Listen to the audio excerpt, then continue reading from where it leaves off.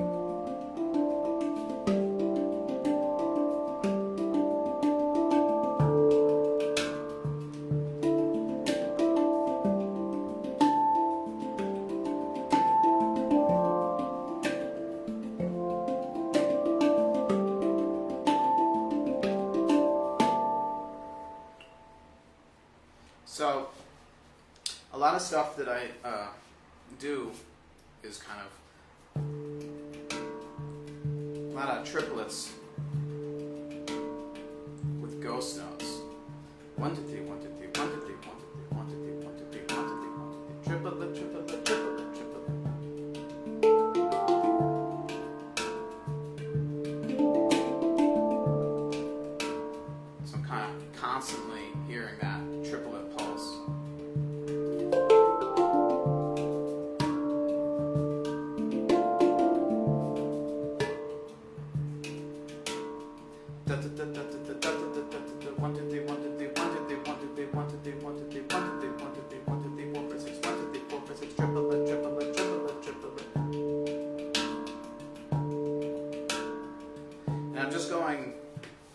right, left, back and forth.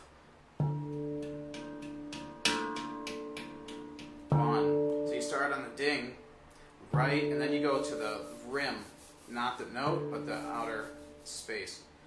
Right, left, right, left, right, left, right, left, right, left, right, left. So that I'm accenting that.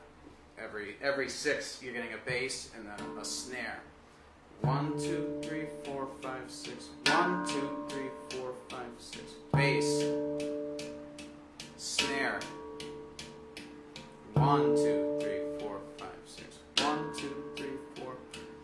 One, two, three, four, five, six. One, two, three, four, five, six. Bass. Snare. Bass. Snare. Triplet, triplet, triplet, triplet. So the only accented notes are the ding on one and the snare on uh, the second round, the second half. Um, it would be one, I guess. So it would be one, two, six. One, two, three, four, five, six. And then every other note is a ghost note, so it's very, super soft. So you're just filling in the, the space in between.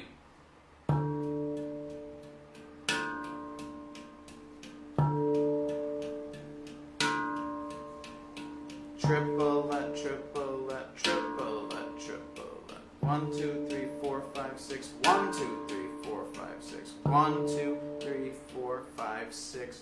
One, two,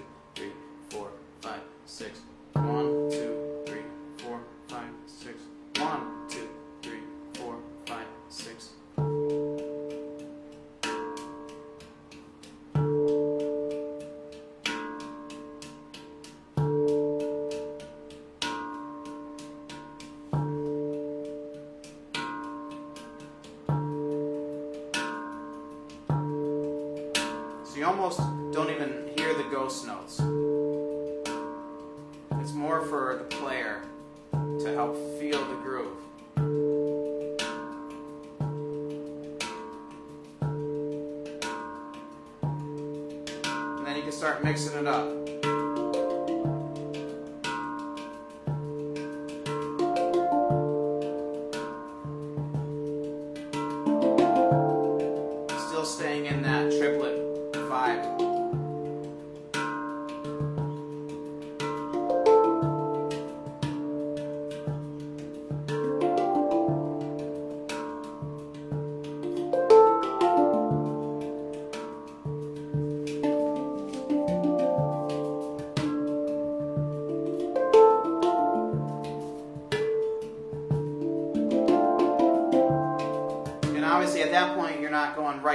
Left, necessarily the whole time, but as long as you're still staying in that, hey, we have two people in here, hello. One's probably my wife.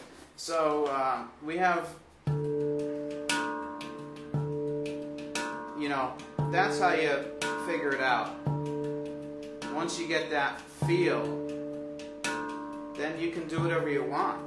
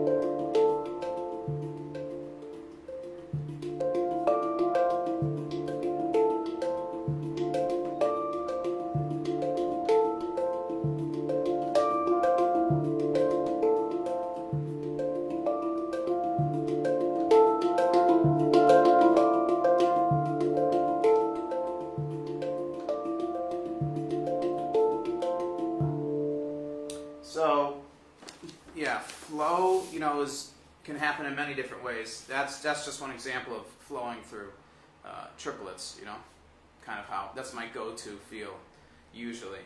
Um, you can do uh, ghost notes in four. It doesn't. It doesn't have to be um, triplets.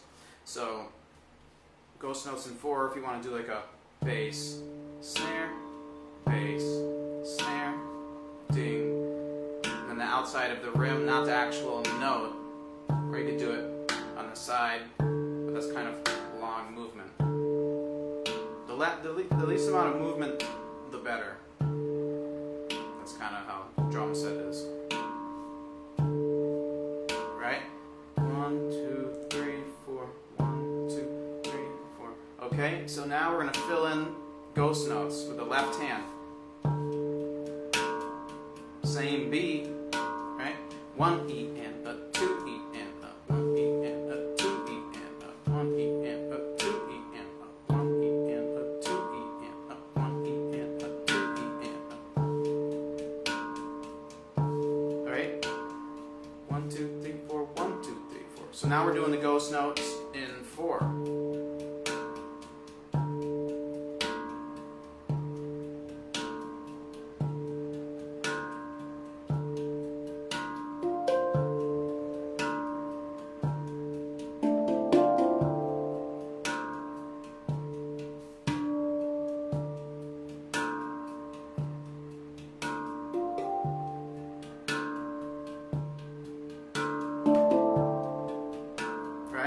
So, and then once you get used to that, you can add uh, another bass drum.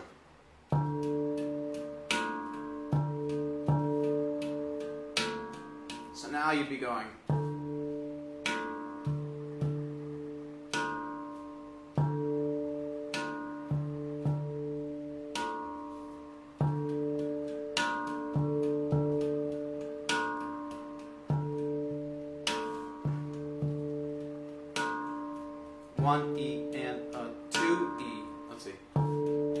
Two E and a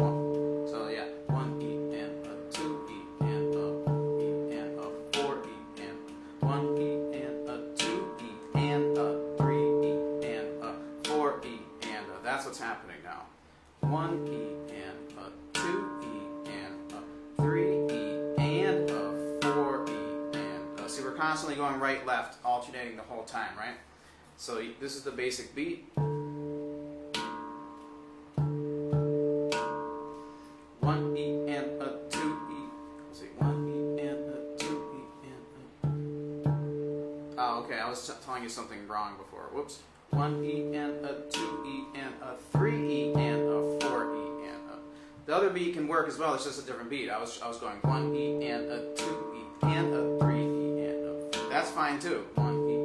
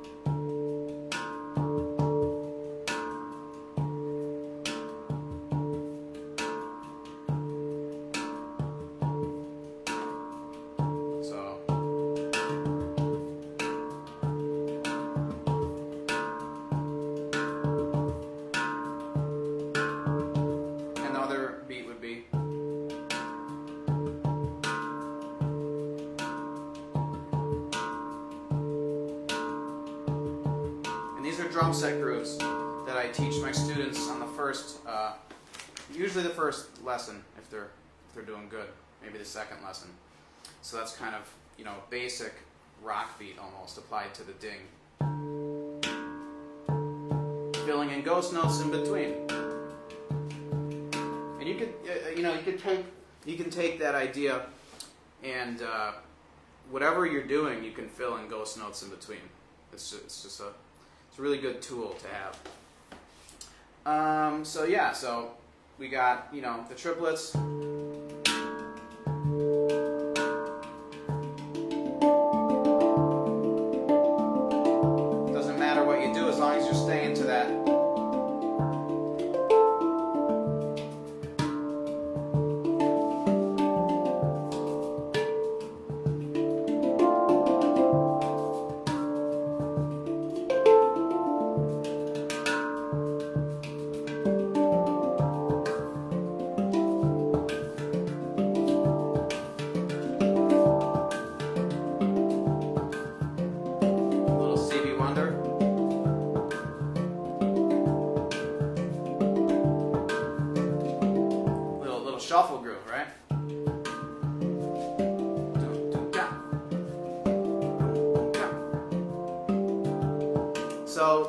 To another thing.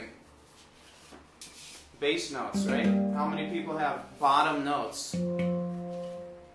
They're a really great addition because you can really get nice chords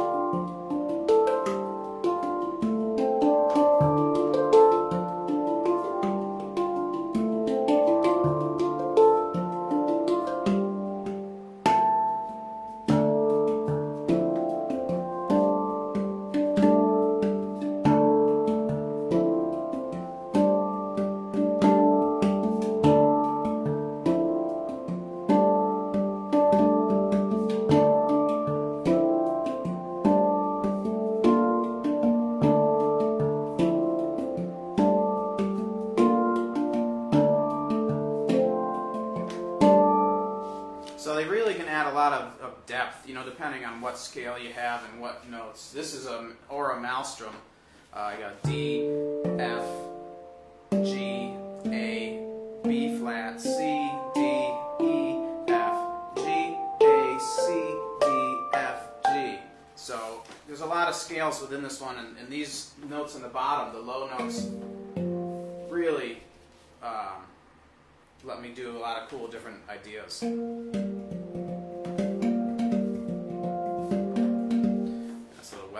So, um, yeah, dynamics and flow, triplets, ghost notes. You know, we've talked about a lot of stuff in a short period of time.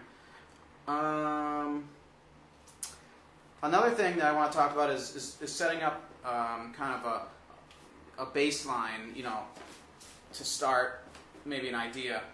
So you figure out, especially with these low notes in the ding, you can get a nice little bass line. So here's something, uh, kind of that idea. You'll see I'll keep this going. This is called Maelstrom. So this bass line is going to go the whole entire time, no matter what I'm doing.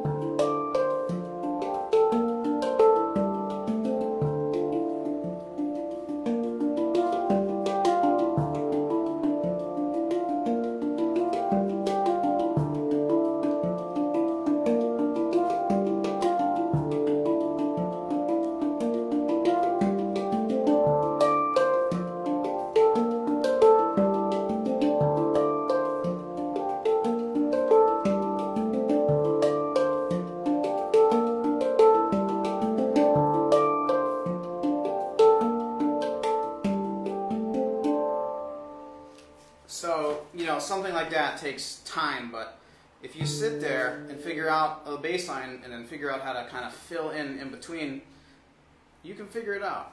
So it's cool. And when you're doing the bass uh, notes, I like to put my thumb. I don't kind of just have my hand floating, but I actually like to anchor my thumb uh, kind of on the rim above it. And that way it lets me kind of do, uh, you know, some more rhythmic things.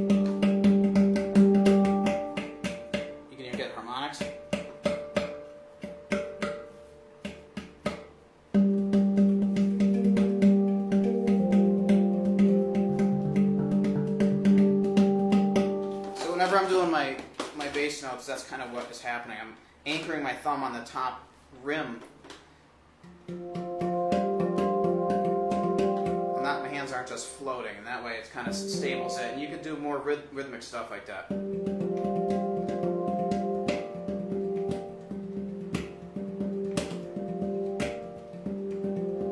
And you can get a one-handed harmonic as well. So yeah, bass notes are fun. Um, hello.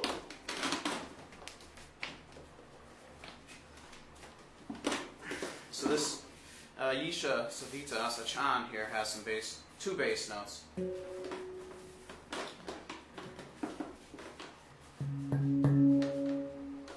So I'll, demonstrate some uh, dynamics and, and flow on this.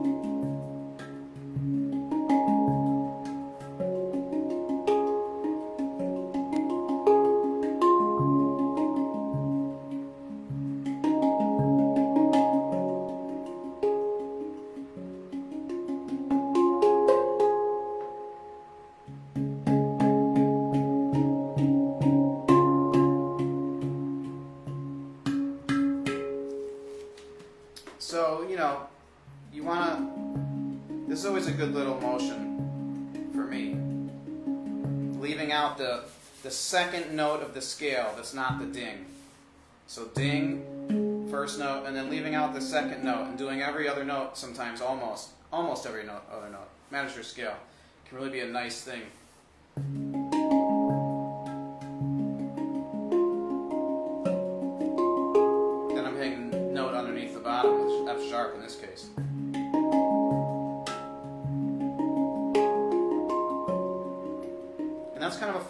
That can work with a lot of hand pans is switching between, you know, if it's a, if it's a D chord, switching between the A and the B flat, uh, but not hitting them both at the same time. Um,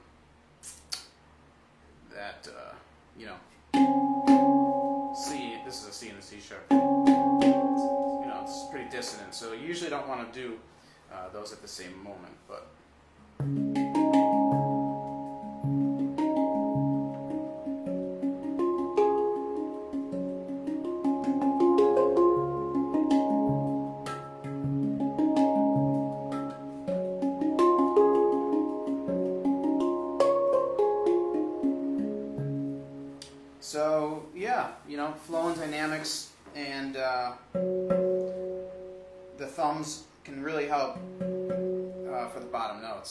notes.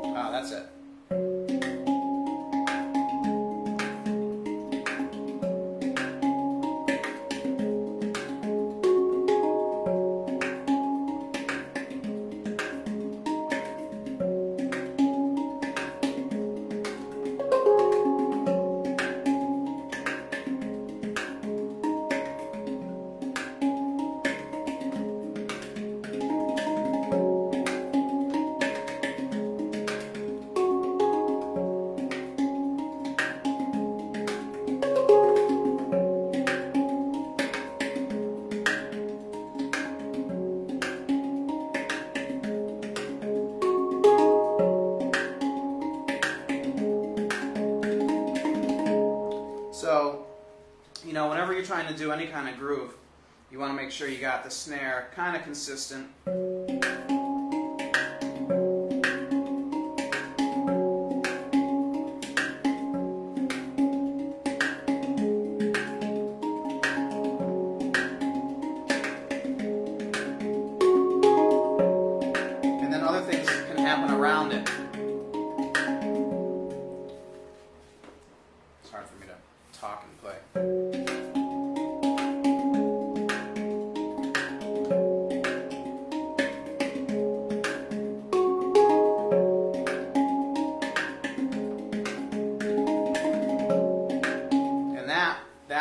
Right there, if anybody's wondering, it's uh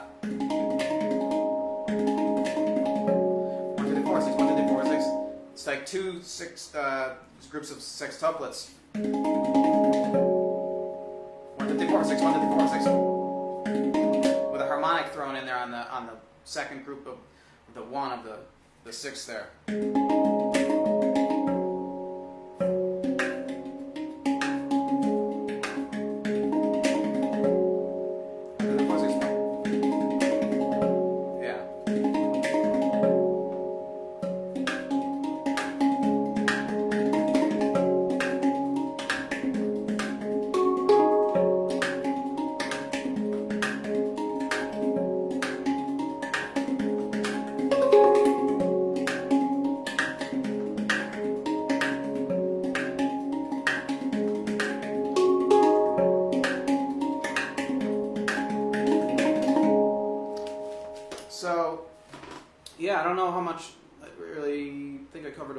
So, uh, hope everybody had a good uh, time today. Sorry, Mercury in retrograde. It's been a it's been a hard month. Hopefully, it's uh, it's over soon.